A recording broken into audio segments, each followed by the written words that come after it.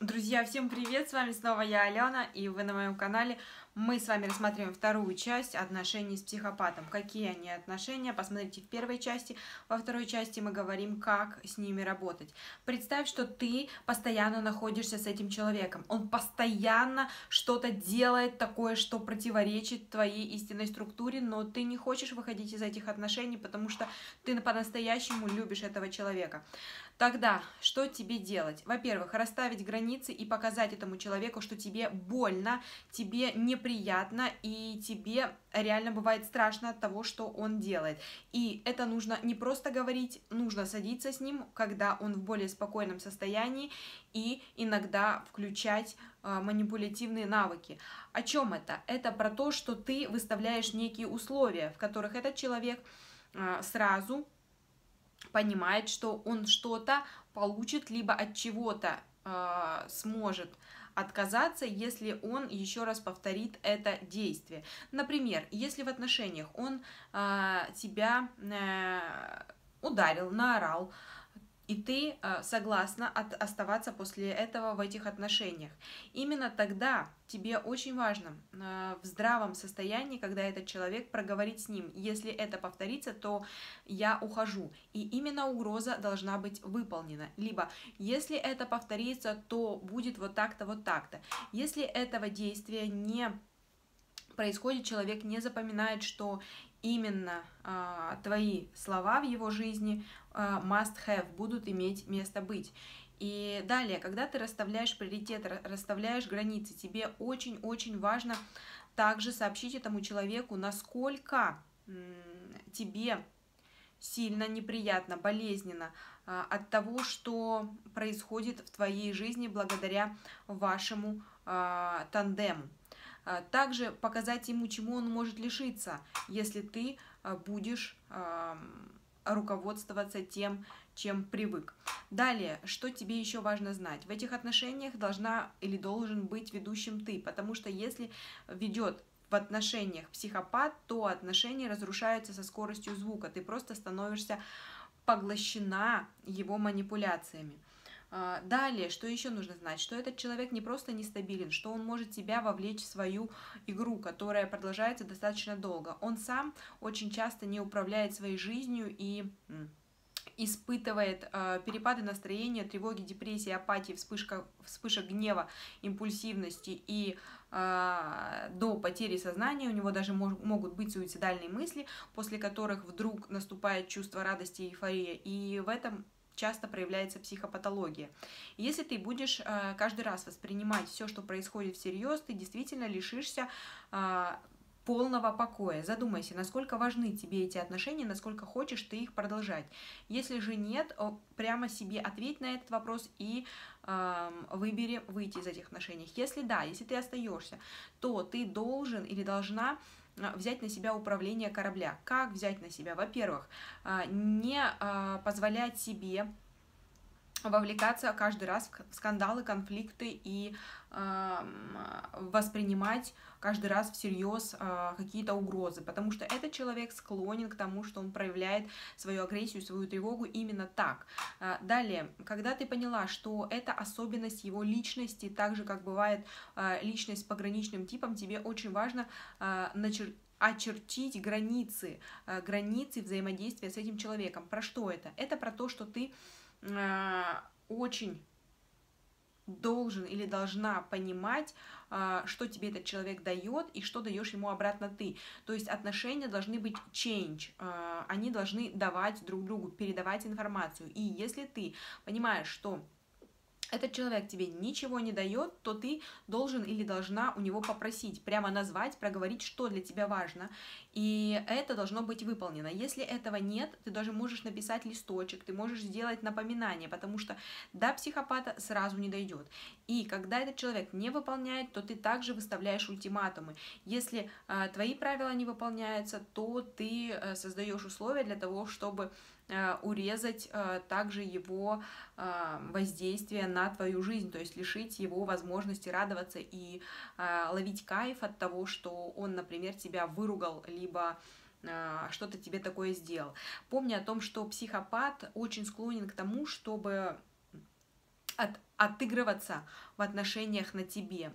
Он очень склонен к тому, чтобы прямо сейчас а, создавать какие-то условия, в которых ты будешь себя чувствовать плохо, он от этого будет кайфовать. И именно этого тебе нужно его лишить.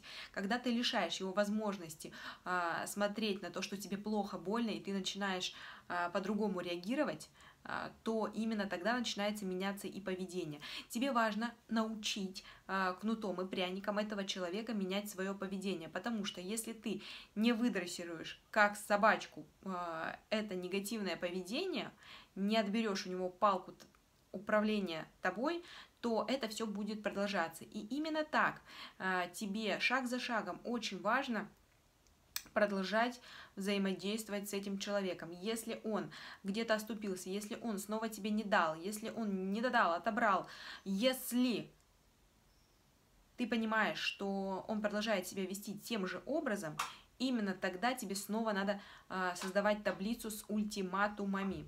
Запоминай, что такое ультиматум? Это то, что ты ему выставляешь, что он тебе должен э, сделать на какой-то твой э, запрос. Очень-очень важно тебе также понимать, что его психика никогда до конца не изменится. Ты можешь повлиять только на поведение, которое в рамках твоей а, вашей пары. И если это достаточно долго не меняется, то именно а, сегодня, именно сейчас ты должен или должна сработать с ним так, чтобы этот человек захотел поменяться, чтобы он начал тобой дорожить. А, если этот человек тобой не дорожит, опять же таки а, задумайся над тем, насколько ты хочешь продолжать эти взаимоотношения. И а, если это для тебя важно, быть, например, спасателем, спасителем, сразу лишай себя возможности и иди сам или сама в терапию, потому что быть спасателем, быть жертвой, это тоже некая внутренняя потребность, исходя из какой-то патологии, то есть не какой-то недостаточности, не э, закрытости какого-то гештальта, грубо говоря. А, также, что тебе нужно знать? Эти отношения будут очень много э, у тебя вытаскивать информации, вытаскивать твои силы, вытаскивать твои энергии. И когда ты поймешь, что именно в моменты эм, кризисов ты можешь справляться с этим, можешь переживать, у тебя есть силы, именно тогда у тебя открывается новый потенциал. Но помни о том, что твоя система, она недолгосрочная. И то, насколько ты умеешь э, планировать свое время, насколько ты умеешь взаимодействовать с этим человеком грамотно, такой результат и будет. Если это оставлять так, как оно есть, оно будет так, как оно есть, и ты разрушишься. Э, что я дала важного? Акцентирую свое внимание. Границы а, навык контроля в отношениях ты управляешь больше. А, далее, тебе очень важно продолжать выстраивать отношения таким образом, чтобы а, ты получал или получала обратную связь положительную, чтобы тебе было более-менее комфортно, и также э, тебе важно планировать заранее, а, шаг за шагом, как ты изменяешь поведение, то есть на какое поведение ты как реагируешь, каким образом. Э, иногда ты избегаешь, э, потому что этот человек ждет от тебя прям а, обратной резкой реакции.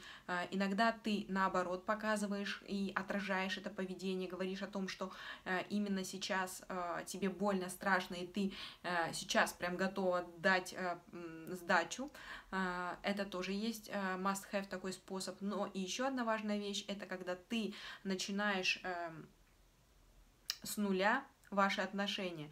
А, ты, это есть такая практика, когда ты садишься за стол переговоров, а, говоришь об этом человеку, о своих чувствах, говоришь, что ты готов или готова выйти из отношений, если вот это, вот это не поменяется.